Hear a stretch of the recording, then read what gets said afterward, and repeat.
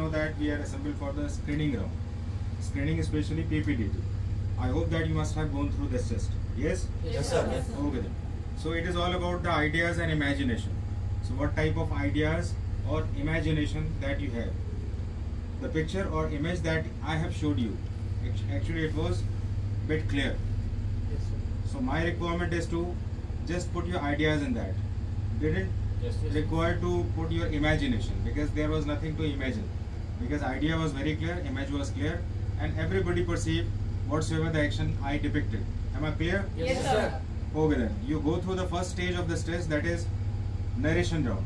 Now you all are assembled for the Discussion. discussion round. I hope that you are going to participate best in that. Ready? Yes, sir. So please start your discussion.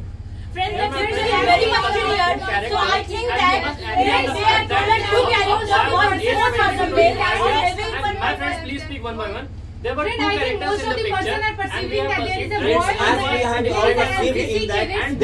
was Yes, drawn my dear and friend. man The boy was was saving in him from uniform. drawing. Like So, he my ran all to friends the are right. Please go one by one.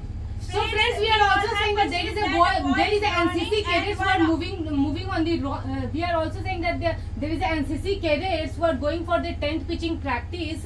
My And friend, many Friends, of we us all are had very already clear seen to the the two perceived characters that and the he was boy not was wearing drawn a and uniform. the man He was was like he's man an was You saving can NCC him agree from that cadet. He was of from our, drawing. he was of our age, 20 to 25 years of age, and the other boy was around 10 to 12 years of age. I think And it what is is clear the to reason all that now we are coming on to the work theme. somewhat to And the we boy. talk about Friends, it is clear to From the picture, it is clear that there was There is one a female center who case one who was not case. drawing My and friends, we another all one can agree on was the the saving the boy. My friends, Friends, I can agree on all the are certain agree with their age. So now coming to the theme of the of rope or story. a creeper for protecting the boy. It was not a stick, rather a stone or